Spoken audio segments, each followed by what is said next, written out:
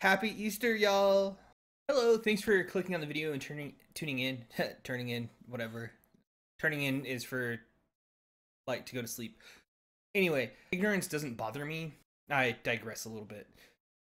Uh, which is normal for me. In my experience, that's where conversations break down. Uh, I'm Tyzzit here, and I do have to apologize. You could probably tell by the title already. This is not uh, testimony episode one because the first episode was baseline. Um, it's just taking me a little bit longer to edit the video than I initially thought it was going to. So episodes for my testimony are probably going to come out every two weeks, but I'm going to try and put out another smaller, shorter video just about random things that I think of. Um, this one is what I believe is is the difference between stupidity and ignorance, and they are different. And just my my take on that, because I'm probably going to mention it throughout my my testimony.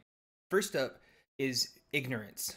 Ignorance is not knowing something, and in order to eliminate ignorance, you have to be willing to admit I don't know something.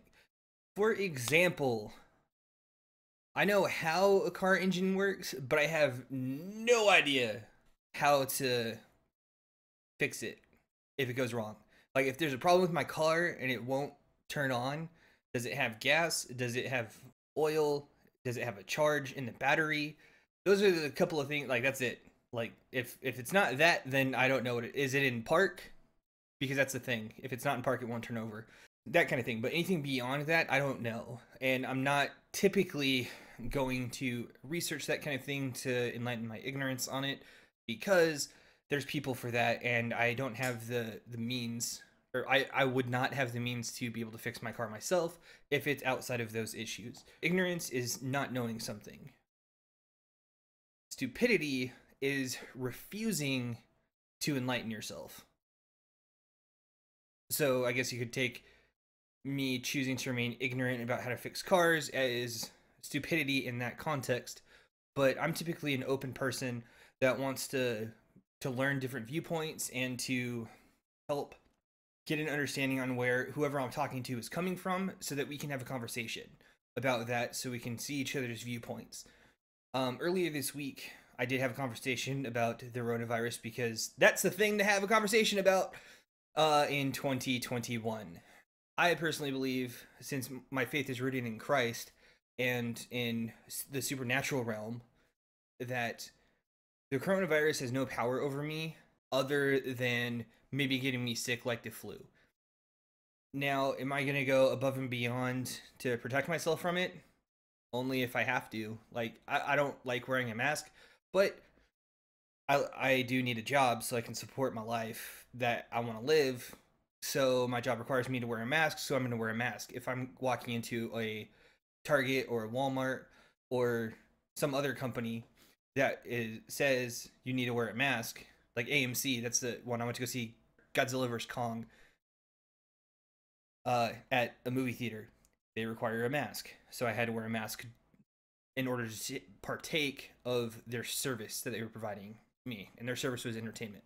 I digress a little bit, uh, which is normal for me. What really irritates me is not the fact that they're ignorant people, because ignorance is bliss ignorance doesn't bother me. It's the refusal to enlighten one's ignorance. That's what bothers me. Um, also known as stupidity or stupid. To me, that's the distinguishing factor is the refusal to accept new knowledge or accept someone's stance or to consider that. In my experience, that's where conversations break down. Is when you're on a touchy subject and they don't necessarily feel like they're being attacked, but you're trying to provide them a different viewpoint and they get offended by that or triggered because of that. Oh my gosh, that meme in my head is hilarious. It's going to be posted here for sure. Triggered response of like of uh, hate, anger, like you being called a racist for having a different viewpoint than them, which that's always a fun one. Um, and I try to get them to prove it if that's happened, but it hasn't happened yet. But that's the thing about an overthinker. I think about those kind of situations all the time. Like, I really hope I have a conversation about this, and then if like just to keep battle of wits, if you will. um, and to keep my mind sharp, and which that was a conversation I had earlier this week. We had different viewpoints. I had a very strong stance about where I'm coming from. No need to treat the coronavirus any differently than you would the flu, as as far as um, preventative measures for me. What I choose to do is I'm okay with not wearing a mask. I wash my hands often. I cover my sneeze and my cough and my elbow whenever it happens. Uh, the only exception to that is if I'm in my room like I am now and I'm like playing a game or something and I can't move my hands from the keyboard and I'm like trying or it sneaks up on me real quick. But there's nobody else here. I'm by myself with my dog. So there's there's that, and I know I digressed a little bit. I didn't really have a plan other than to say I'm sorry that this isn't episode one of uh, my my testimony, but you can expect that next week, uh, next Sunday. And also, I forgot to say, Happy Easter, y'all! Christ is risen. Woo woo.